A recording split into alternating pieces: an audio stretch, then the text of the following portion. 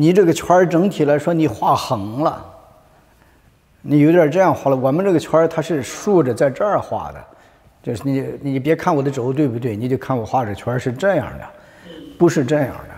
所以它怎么样就这样了呢？你这个轴你往这一收，它就成了平圈了。你看它不是你再怎么做它平了。这个轴不往后走，不往这走，它是往这走。一往这，你看它必须是在这儿做的。